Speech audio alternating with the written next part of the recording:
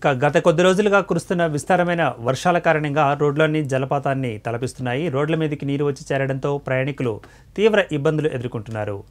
యాదాద్రి భువనగిరి జిల్లా చౌటుప్పల్ మండలం జైకేసారం గ్రామం నుండి అసోనిగూడెంకు వెళ్ళే మార్గంలో బ్రిడ్జి నిర్మించాలని సిపిఎం నాయకులు ధర్నా చేశారు.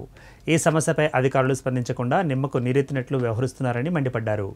ఇక తక్షణమే పరిష్కరించకపోతే ఉద్యమాన్ని ఉధృతం చేస్తామని హెచ్చరించారు. గ్రామ ప్రజలకు బ్రిడ్జి సౌకర్యం వెంటనే. కల్పించాలి. కల్పించాలి అస్సనగూడెం గ్రామ ప్రజలకు బ్రిడ్జి సౌకర్యం వెంటనే. కల్పించాలి. ఏర్పాటు చేయాలి గ్రామ ప్రజలకు బ్రిడ్జి బ్రిడ్జి నిర్మాణం వెంటనే. ఏర్పాటు చేయాలి. బ్రిడ్జి నిర్మాణం వెంటనే.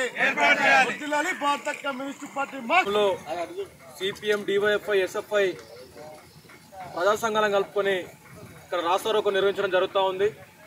గత కొన్ని సంవత్సరాల నుండి కూడా ఈ సమస్య పెండింగ్లో ఉంటూ ఇక్కడ అసోన్గూడ ఆమ్లెట్ కింద నివసిస్తున్న ప్రజలకు తీవ్ర ఇబ్బందులకు గురవుతూ ఉన్నారు.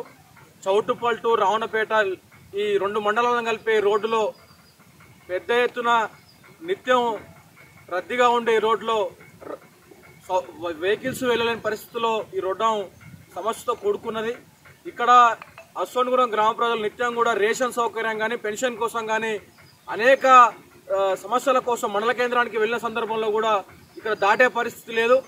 నేడు బంగారు తెలంగాణలో If you like this video, please like it, share it, and for more videos, please subscribe to our channel.